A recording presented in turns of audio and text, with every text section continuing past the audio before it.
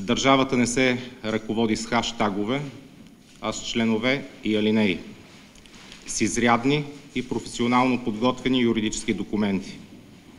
Недопустимо е да се поставя под съмнение волята на България за присъединяване към Организацията за економическо сътрудничество и развитие, още повече това да се прави за предизборна употреба. Седмица по-късно мога да добавя още една задача, която е свършена от кризисния щаб в енергетиката.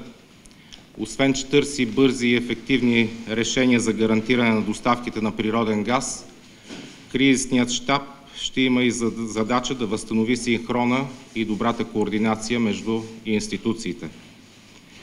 Министерството на енергетиката в пълно сътрудничество с Министерството на финансите изготвиха план за финансово оздравяване на Булгаргаз, като на днешното заседание ще разгледаме и приемем постановлението за предоставяне на заем от 800 милиона лева на Булгаргаз, както и решение на Министерския съвет за условията, при които дружеството ще възстанови тази сума.